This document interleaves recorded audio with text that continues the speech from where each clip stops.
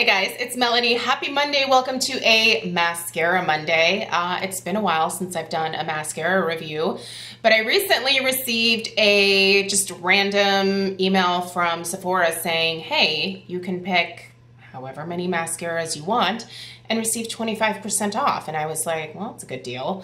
Uh, there were a couple of mascaras that I was going to be purchasing during the November um, Rouge VIB BI sale, the sale that they do every November.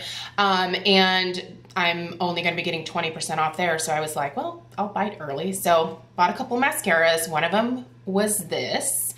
Um, the honestly, like probably the main reason that I picked this up was because of the packaging. I've seen it in stores a couple times and have picked it up and was like, wow, it's so pretty.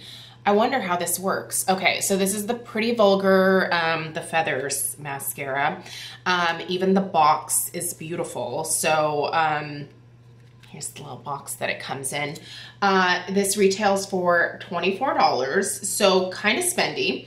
But what drew me to it was I saw the brush and I was like, oh, I love this type of brush. It's a natural bristle brush. You can see it right there natural bristle brush. It's a curved brush. I actually take all of my mascara ones that aren't like the plastic rubbery ones. Um, if they're this type of natural bristle brush, I always put a curve in there because that just is so perfect for my particular like eye shape. Like I love being able to get all the lashes at once instead of having to do it like in sections with a straight wand, if that makes sense. So the natural curve, the natural bristles, the fact that this was supposed to be a volumizing formula, I was like, oh yeah, I need this. Now, I kind of read some of the reviews, but like not all of them. Um, the reviews aren't super. It does have three and a half stars, it looks like. So I was like, well, I think it's worth a try. I mean, if something is one stars, I'm probably not gonna try it. If it's two stars, I'm probably not gonna try it. But three and a half, I was like, well, you know, try it out. Why not? Um, okay, so before we even get into this, I'm gonna let you guys know this is the worst mascara. I don't want to say the worst because there was one that I tried recently that was also awful, but like this is this is in the top two worst mascaras that I've ever used. This mascara is awful, you guys, and we'll talk about it here in a minute, but I just want to tell you about the claims because this is when I was using it, I was like, what is, is something wrong with my mascara tube? There has to be, right? Anyway, okay, so a long wearing mascara with unique black pigments that has a curved brush to hug your lashes and sweep on dramatic volume and length. So two really great things when it comes to mascara, right? So just one coat of the Feathers mascara sweeps on the deepest, darkest lashes with ultra high volume. The elegant...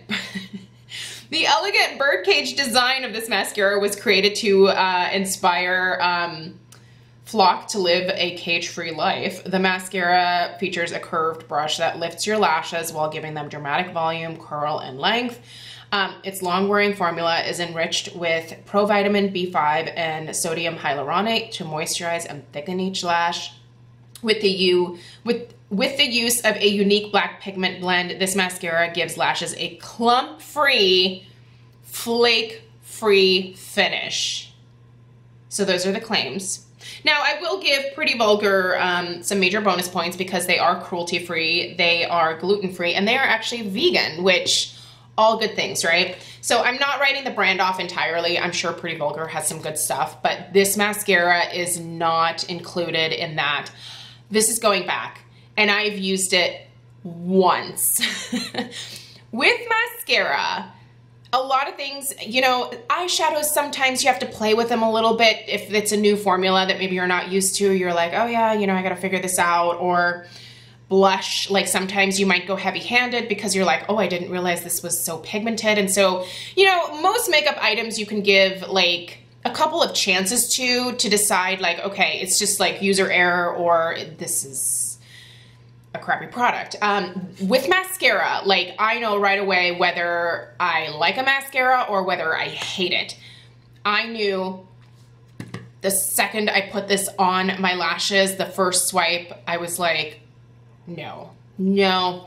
First off, okay, so I hope that I can get across on my camera how clumpy and thick this formula is. Do you see how it's like clumped in the middle there? It's just a solid chunk of like mass here, maybe against my forehead. There's just a solid chunk of mascara there. So you can't use this side here, this side. Um, I had to apply with this side where there's slightly less chunks of mascara. It is so thick that it just clumps up immediately on my lashes. Like just a solid, like just of mascara on my lashes. I had to use my lash comb and I like these metal lash combs. I had to use this like it was going out of style. I was just combing and combing and combing trying to get that excess mascara out. This whole thing was black, like just covered in excess mascara. So then I was like, okay, so I'll just comb it out and then I'll wait for just a second and then I'll go in with coat number two because that's what I normally do. And um, it was just worse the second go around. Just cl huge clumps like on the ends, like my lash tips had actual chunks of mascara and I would have to go in and like brush those off because as soon as I blinked in any kind of way, it went on my like eyes up here and then even like on like, the tops of my cheeks because it was so chunky um, which normally doesn't ever happen to me. Like I don't get mascara down here. I I will get it here because of like my brow bone. Um, it's just bad, you guys. I wish that I had something good to say about this. But anyway, so I went ahead and just tried really hard to like at least comb it out to where it was like bearable to wear throughout the day. To make things worse, not only did I look like I had tarantula leg lashes for the entire day, but then it was flaking everywhere and I mean, I had like just an array of flakes just on the tops of my cheekbones here. Not good. Nope. So wore it one time and it's going back. There's no way, I can't imagine even wanting to work with this again. The amount of work it took for me to make this look okay on my lashes and then to have it still look like I had tarantula like lashes and to then have it flake, no. Plus, it was a little bit more difficult to remove because it like it's a dry formula and it definitely dries on your lashes. Um, I had to work like with my Drunk Elephant um, Slaai makeup makeup melting butter, like an extra amount of time to like loosen up the mascara and like actually get it off my lashes at the end of the day. And it took a couple of tries to get it all off. So it was difficult to remove to boot.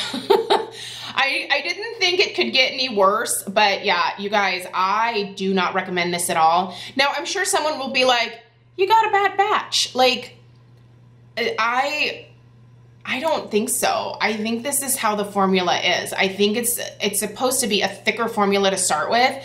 Um, and after reading some of the reviews now, after the fact, um, yeah, like there's a lot of people agree with me in saying that this is a clumpy mess. Um, I think it's, I think this is the intention of the formula to be this thick.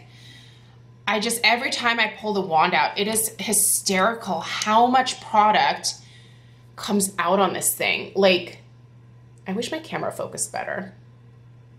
Oh, it's it's ridiculous. And I don't mind like when mascara gets on the end. Like I'm always happy to just do that. But then I'm still left with like, do you see those chunks? There's just chunks. Ugh. No. I, I don't have anything good to say about this, obviously. I'm putting it back in the box. I'm taking it to Sephora and I'm gonna be like, hey dudes, did I like do something wrong? Cause I don't understand. I, I don't know how they can sell this and talk about how like voluminous and curly and sky high length and yeah, none of these things happen for me. No length either. I mean, unless they're counting like the chunks as length, which I don't. I don't count that as length at all. Um, I don't think there was just no way to lengthen my lashes with this because every time that I like pulled it out to the ends, like it just deposited more like chunks at the top. So yeah, I feel like I'm repeating myself at this point. Suffice it to say, no. I don't even recommend trying this. Um, I'll try other things from Pretty Vulgar, um, but this, I'm gonna take this back. I'm not, I, uh, I know that they have another mascara, um, but I think I'm gonna pass on that as well because I'm pretty sure, I'm pretty sure, um, that it's not gonna be any better than this. It kind of looks clumpy even in the pictures, so yeah, I don't know. Anyway, have you tried this mascara? What are your thoughts? Let me know down below. Um, I'll go ahead and link it. I mean, it's kind of fun to go read some of the reviews because some people are like, oh, it's beautiful packaging and the best mascara ever. And then there are some people that are like, no, worst mascara I've ever tried. I am in that camp, obviously. So, all right. I hope you guys have a great rest of your Monday. Let me know if you have any questions, and I'll see you in the next one.